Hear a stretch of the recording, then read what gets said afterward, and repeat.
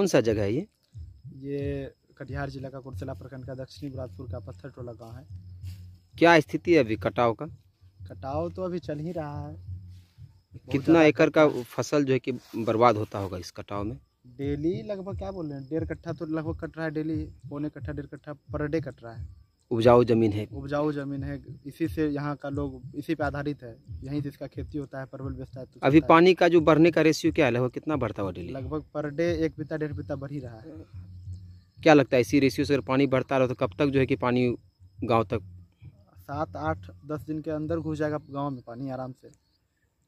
कटाव रोधी कुछ कार्य हो रहा है या नहीं हो रहा है? कुछ नहीं हो रहा है।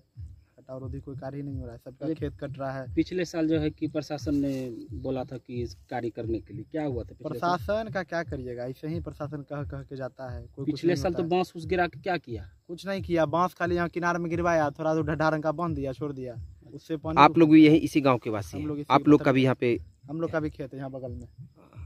क्या नाम हुआ मेरा नाम अभय कुमार रजक। की स्थिति है कटाव कखनी? कटाव तो देखिए रहे हैं कि धरपटांग परवल करेला जो है सब कटिए रहा है। और इसको कोई देखे रेख करने वाला कोई है ये नहीं है। प्रशासनिक स्तर से कोई मतलब कि देख रेख कर या फिर कटाव हो रहा है, कटाव रोधी कार्य? कोई कटाव कोई नहीं देखने वाला है। कितना खेत डेली कटी जेतो होते? कम से कम पाँच कट्ठा छः कट्ठा डेली एक टुकड़ा पाँच कट्ठा एक कट्ठा। तो यहाँ कितना किसान के खेत होते यहाँ कम से वहाँ वहाँ मसान बाबा के थान से है हो गाछ के आगे तक है एक गाँव वाला के। लेकिन कोई सुनवा यहाँ थाना वाला है चाहे कोई प्रशासन कोई सुनवा नहीं। अच्छा पिछले बार बाँस उस गिरा दिया था तो हाँ। क्या हुआ? कटा रुका कि नहीं रुका? रुका तो फिर वो बाँस गिरेला तो क्या होगा? तनी मनी मंदा हुआ फिर शुरू है। सब बाँस दह गया सब बाँस तक गया गिरे तो गया जा, जाते रहा। कौन सा गाँव है ये? पत्थल टोला। क्या नाम हुआ आपका? सकल दे माता आपका भी खेत है? हाँ। कटाव में कितना खेत डेली कटी रहलो छे?